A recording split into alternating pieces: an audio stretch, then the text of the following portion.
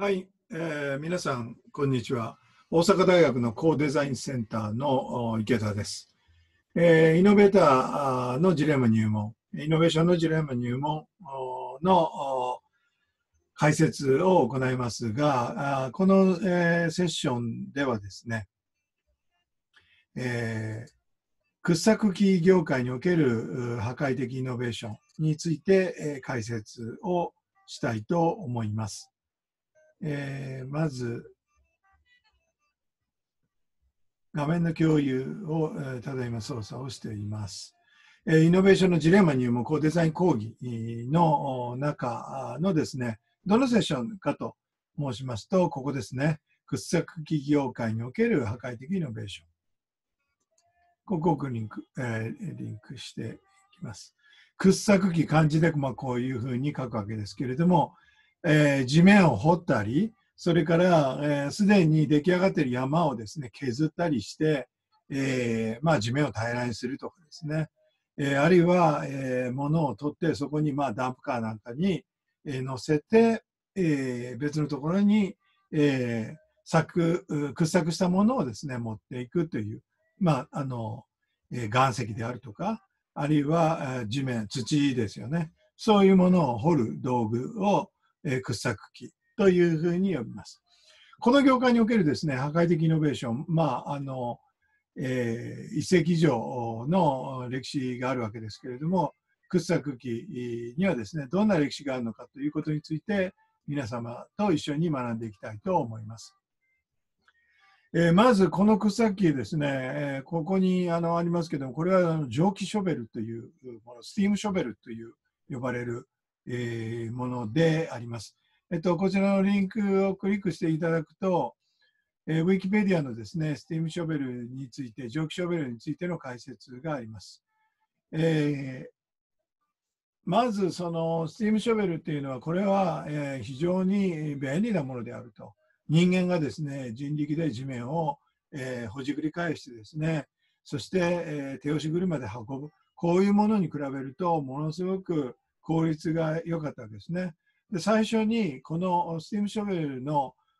動力は何を使ったのかというと、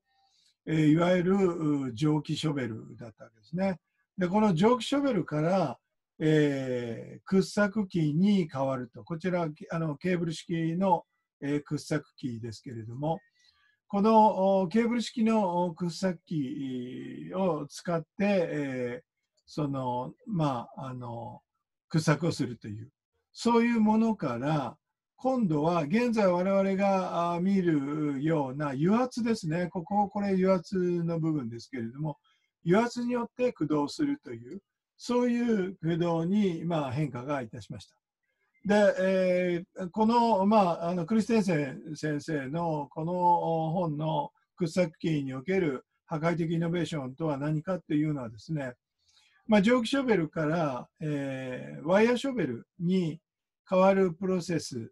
えー、よりも、えー、このワイヤータイプのプロセスから、え、油圧式のショベルに変わる、ここにですね、もう非常に大きな革命があったと、え、破壊的イノベーションが起こったというのが、まあえ、クリステンセン先生の解説であります。で、まず、まあ、おさらいになりますけれども、蒸気ショベル、それからワイヤーショベル、それからあ油圧式のショベルっていう、えー、どういう変化があったのかということについて、それとそこで、えー、油圧式ショベルに見られる破壊的イノベーションはどういうものであったのかということについて解説していきたいと思います。えー、基本的にですね、大企業というのは、えー、例えばケーブルショベルを採用した際にも、えー、岩式のショベルが登場した時にも全然まあ鼻にもかけなかった。えー、相変わらず、えー、ケーブルショベルをまあ使い使ってたと。ところが、えー、汎用性がですね、油圧式ショベルがあったためにですね、えー、最終的には油圧式ショベルがですね、市場を席巻するようになったと。まあ、しかしながら、えー、これに関しては、まあ、油圧式のショベルまで、えー、それがですね、市場を席巻するまでに20年かかったという、そういうストーリーであります。えー、そしてですね、ケーブルショベルはですね、え、破壊的イノベーションが登場したにもかかわらず、え、なかなかそれを採用せずに、油圧式ショベルをメインに採用した企業によって、最終的にはあ機械式ショベルの、まあ、マーケットっていうのを破壊したという、まあ、こういうストーリーで、えー、あります。さて、まあ、1900蒸気ショベルも含めてですね、えー、あのケーブルショベル、あるいは蒸気式ショベルっていうのは、1873年から、えー、1920年代まで、まあ、あの50年ですね、半世紀にわたって、まあ、持ったわけですけれども、この蒸気式ショベルっていうのは、ここにありますけれども、プーリー、えー、まあ、回転する、まあ、輪っかのようですね。それからあドラム、えー、それからケーブルですよね。まあ、あの、ケーブルを巻き取るドラムっていう、えー、ことですけれども、こういう構成になっていたと。で、やがて、えー、まあ、1920年代ぐらいからですね、蒸気ショベルに代わって、ガソリンエンジンの、まあ、あのが登場すると。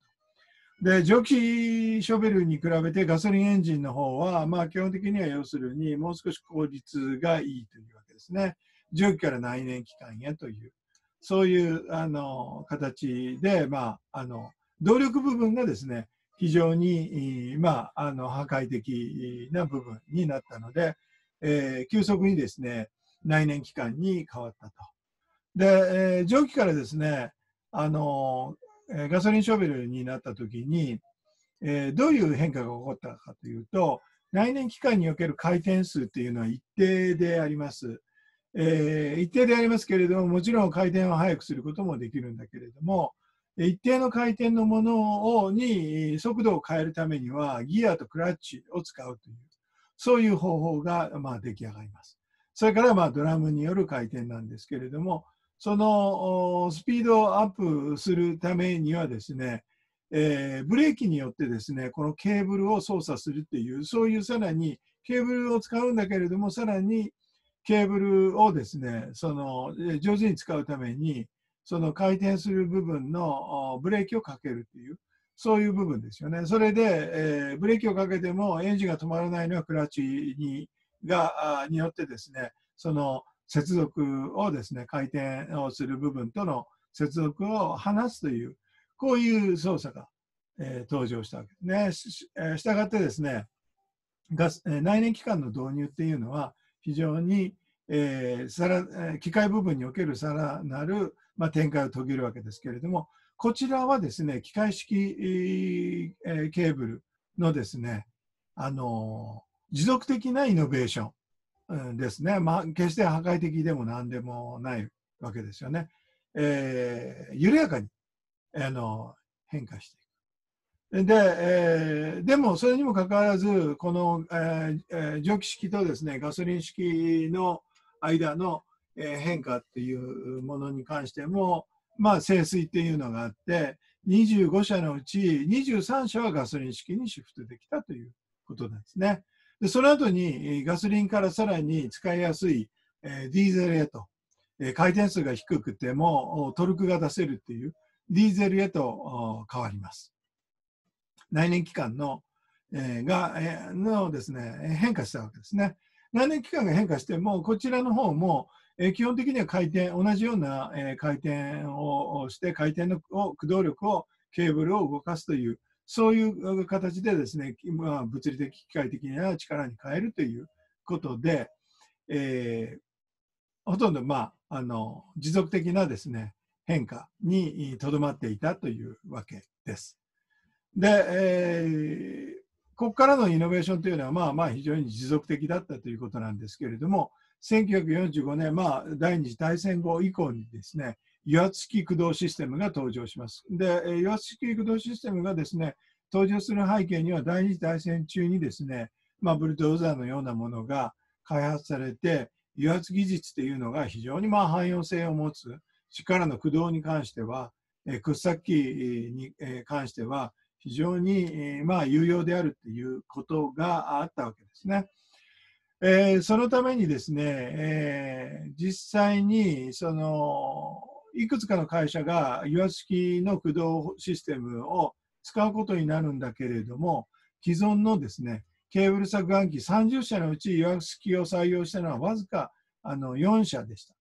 えー、持続的イノベーションにはですね、採用には二の足を踏むっていうところが、えー、こういうところにも出てくるのではないかと思います。えー、そしてですね、岩付きの開発っていうのは当然のことながら新規参入者を見ます。えー、日本のですね、戦後の日立とか小松もですね、えー、こちらの方に、まあ、あ入ってくるわけですね。で、えー、機械式のですね、市場で求められる性能、まあ古いケーブル式のものっていうのは、えー、何かって言ったら、えー、岩付はですね、割とそのこの、まあえー、ケーブあのケーブル式に見られるように、まあ、機能っていうのが非常にそのシンプルなわけですね。柔軟な動きっていうふうなものが、なかなかまあできないと。でところが、岩式になってですね、その、えー、掘削のですね、レパートリーが広がったということなんですね。えー、つまり、掘削にはどういうものがあるか、これは現在、え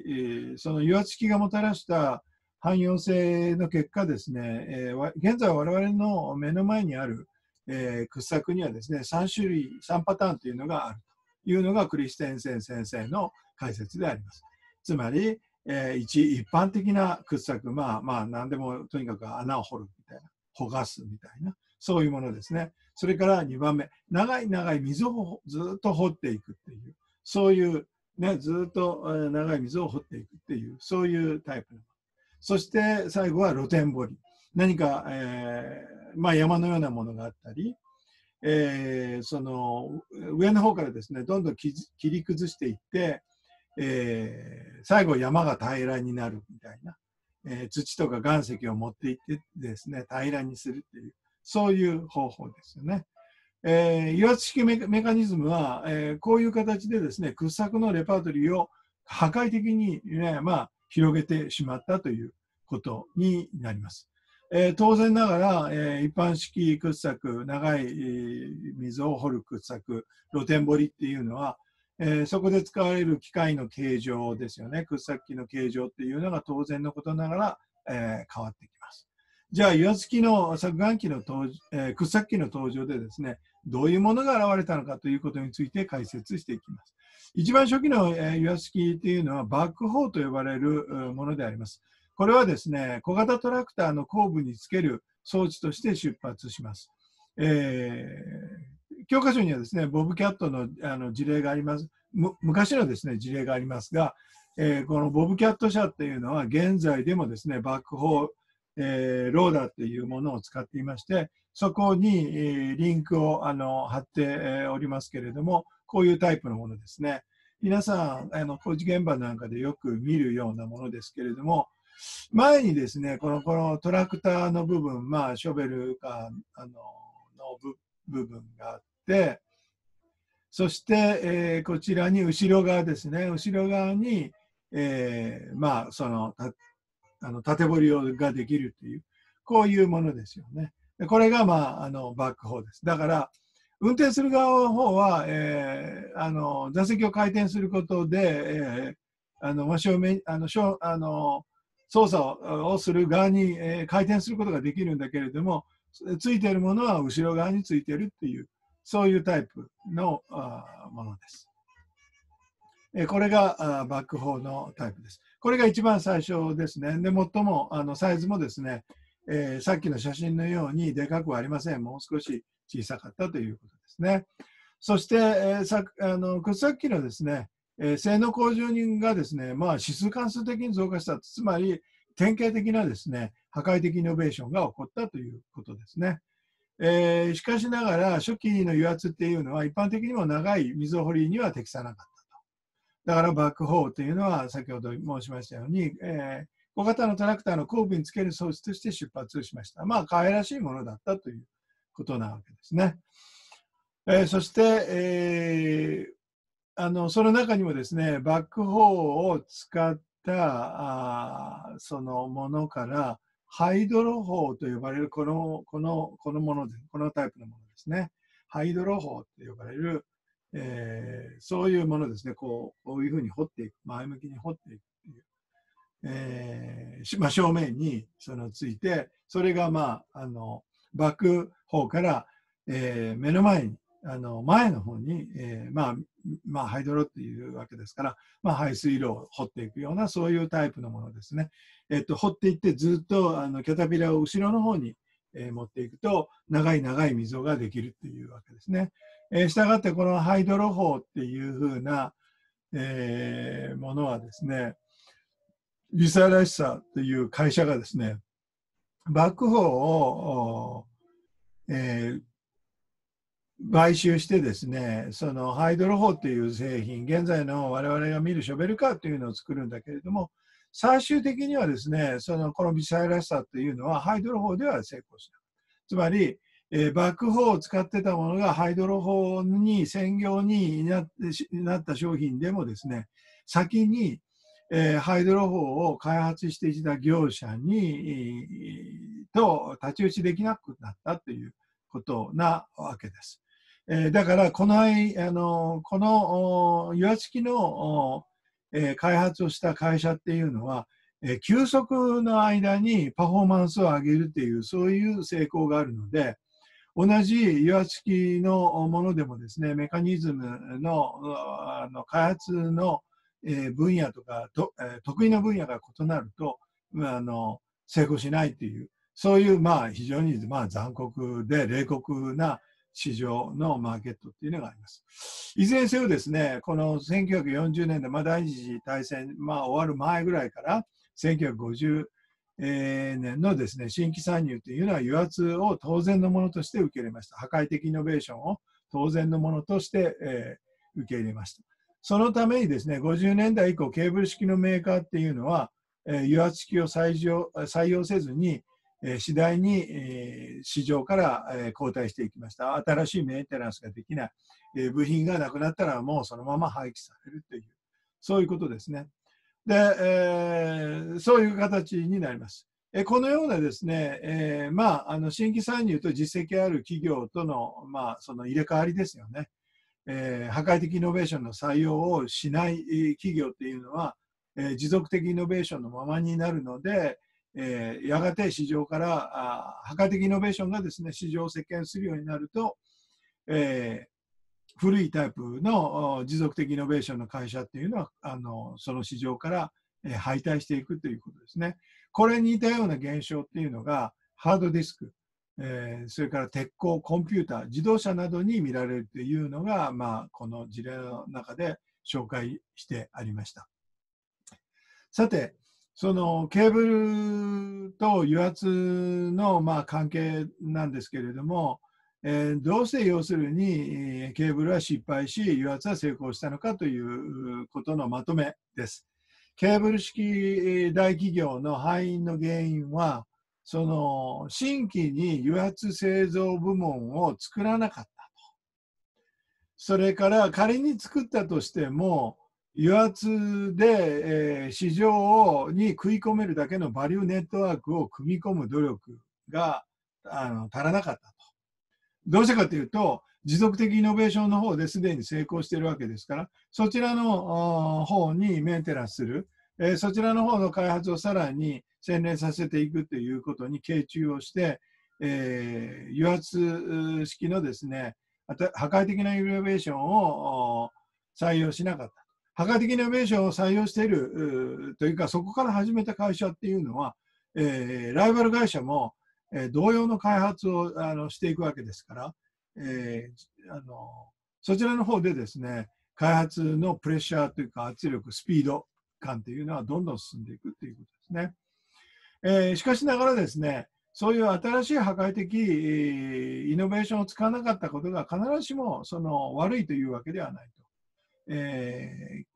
経営にはですね、え、どういうタイプ、どこにですね、傾注をするのかっていうのは、企業の体質の構造からあ導き出されるもので、良い悪いというものはないという、え、ことですね。で、え、油圧っていうのは、えー、そのすでにケーブル式にで満足している、満たされている顧客にはですね、あるいは、えー、そのすでに満足して、え、あるあの掘削に、えー、使っている、え、業者には必要のない技術であったと。えー、そして既存のケーブル業者をケーブル掘削業者っていうあの会社はですねケーブルの仕事量を効率化する方向に、まあ、専専念したと。で既存の大企業というのは油圧機について全く無知であったというわけじゃないと。ただ単に油圧の存在価値を、まあ、重要しなかっただけだということですね。えー、そして油圧のですね、もう破壊的な力を発見したときには、新規参入業者が席巻していて、市場参入への遅れを取り戻すことができなかった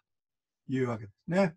でこういう問題というのはそのただ単に企業があるものを成功するかしないかというよりもどういうふうにして開発のマネージメントをしていくのか転換をしていくのかということでありますけれども、えー、破壊的技術っていうのは、えー、基本的にはですねその参入すると、えー、破壊的な面から、え持続的なイノベーションの面に変化していきますので、え、今度は、え、その成功したあ破壊的技術によって成功したイノベーターはですね、やがて、え、別のですね、え、破壊的イノベーターによってせあの今度は追われる側になるという、えー、ジレンマに落とし込む、落とし入れられるということになるわけですね。で、持続的イノベーターたちっていうのは、えー、従来のですね、その努力し、そしてスピード、俊敏であり、改善のために俊敏であり、積極的にさらに投資をして、えー、顧客の意見をどんどん聞いていって、顧客サービスを充実させるという、そういうトラディショナルな方法ではですね、破壊的技術を扱うには何も役には立たないというのが、えー、結論であります。